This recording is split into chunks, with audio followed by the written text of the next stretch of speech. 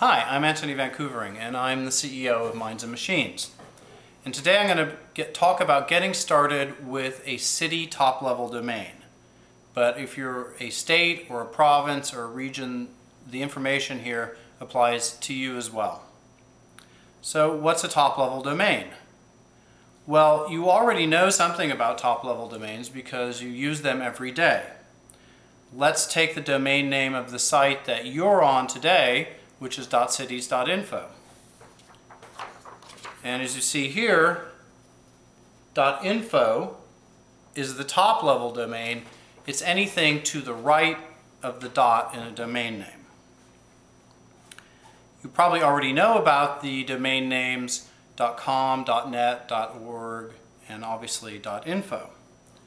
Now ICANN, which is the Internet Corporation for Assigned Names and Numbers, which serves as the regulator for top-level domains, is going to give cities, states, provinces, and regions the chance to get their own top-level domain, or TLD.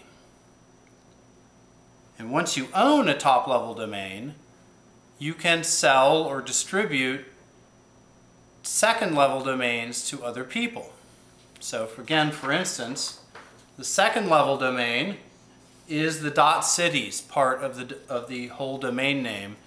And we bought that from the dot .info registry for about $10. Prices vary and you can set whatever prices you want, but $10 is a typical price today on the retail market.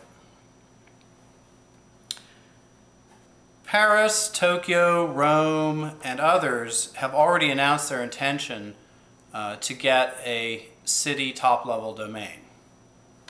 It's great for them because it provides tremendous benefits in terms of branding, tourism, citywide distribution of services over the internet, and of course revenue. And you can read a lot more about the benefits of a city TLD elsewhere on this site. So if you're a city and you're interested in moving forward with this, which we recommend highly, what do you need to do? In one sense, you don't have to do much because ICANN rules say that if you're a geographical TLD, such as a city, you get to decide how and if the name is used. Unlike other new TLDs, which face competition, city TLDs have to be blessed by the appropriate government. Even so, you do have to apply to ICANN and you do need to run the registry once ICANN has accepted your application. The application itself is very technical and is quite complex and is full of industry jargon. And running a registry requires some heavy-duty technology. So probably what you're going to want to do is hire a registry services provider.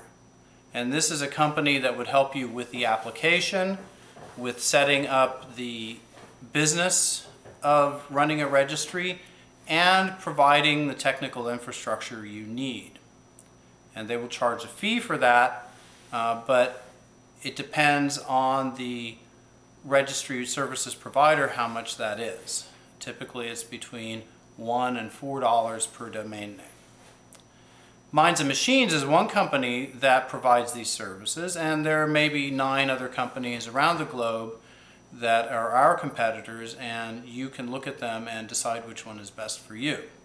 In our opinion, the best way to make that choice is to issue a request for proposals, uh, also called an RFP or a tender bid. So the city would write up its requirements, uh, and then get interested registry services providers to come forward with a proposal that meets those requirements. That's what .paris did, and that's what .nyc did, and we think it's the best way to make sure that you get the best vendor and the best deal. And elsewhere on the site, you can find a list of sample requirements that you should consider. I'm Antony Van Couvering. I'm CEO of Minds and Machines and this has been an introduction to getting a city TLD.